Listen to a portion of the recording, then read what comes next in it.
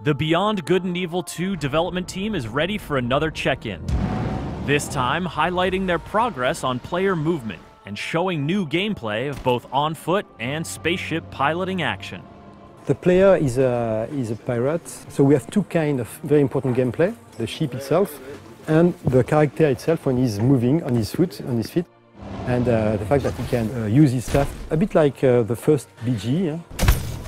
So we are working on all the mechanics of the staff, we are working on all the mechanic uh, locomotion, uh, how, how the character is moving. We have the jetpack, it's a good way to, to move in, uh, in 3D. Actually, you can also board the ship. So you are inside the, the enemy mothership trying to, to fight your way uh, through the different rooms.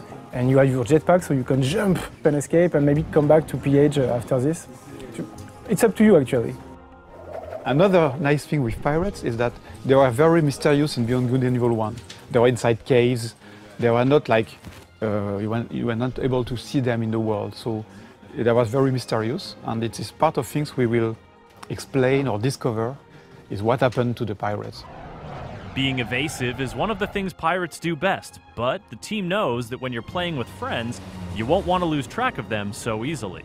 In Beyond Good and Evil 2, we have huge space spaces, so we have a big speed, and it's really hard in multiplayer to follow each other at those speed.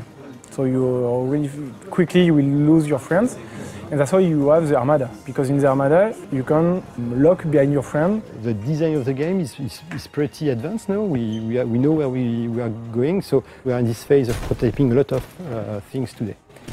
So it's cool because uh, sometimes we, see some very fun, uh, fun stuff uh, coming. So.